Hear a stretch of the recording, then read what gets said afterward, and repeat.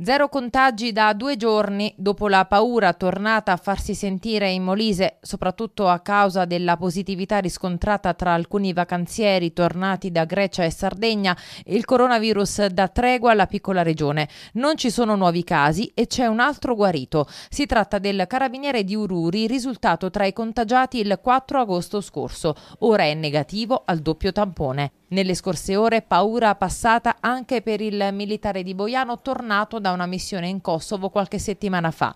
Gli attualmente positivi Molise scendono quindi a 56, due di loro sono ricoverati in malattie infettive, gli altri sono asintomatici e isolati a domicilio. L'ultimo paziente che in ordine di tempo è stato trasferito al Cardarelli è un 48enne di Termoli che era stato alcuni giorni in Sardegna. Nelle scorse ore ha iniziato ad avvertire sintomi e i sanitari hanno predisposto il ricovero a Campobasso.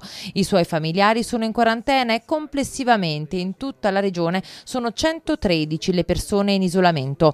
Questa è la mappa della diffusione del Covid-19 sul territorio molisano. 34 contagi a Campobasso, 3 a Isernia, 5 a Termoli e 5 a Campomarino, 4 a Sant'Elia a Pianisi, 2 a Campolieto e 2 a Forli del Sannio, 1 a Filignano.